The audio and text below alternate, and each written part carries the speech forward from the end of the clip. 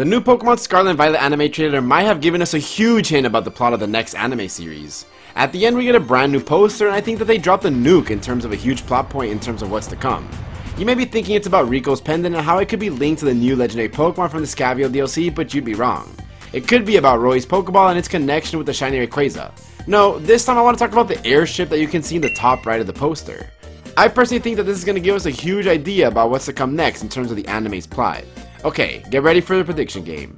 I think the series is going to start with Liko at school and we can see her sitting alongside what I assume is her friend and she would have just received her Sprigatito. Then at some point she battles a rival, but she gets interrupted by Friede, who introduces himself as a Pokemon professor and invites them both to be research assistants. The rival declines, but Liko accepts and at some point so does Roy. I'm not sure since we didn't get any information regarding him, maybe he's a classmate of Liko or he just doesn't attend any school. Well, the airship and all the Pokemon we see by Friede are actually his, for example, I totally see Slugma and Carkol using their fire attacks to heat the coal of the ship that allows it to fly.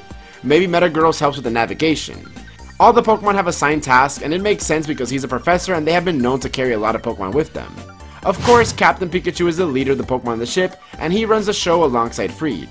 Another good reason backing up this point is that it would lead to the series being a journey style exploration, where they could use the ship to travel around Paldea and to other regions.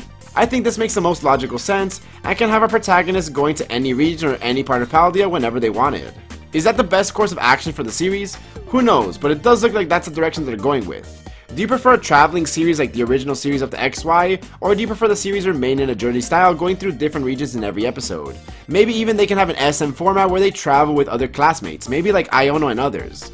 Maybe this girl sitting next to Liko is actually Iono before she became a gym leader, since they have the same teeth.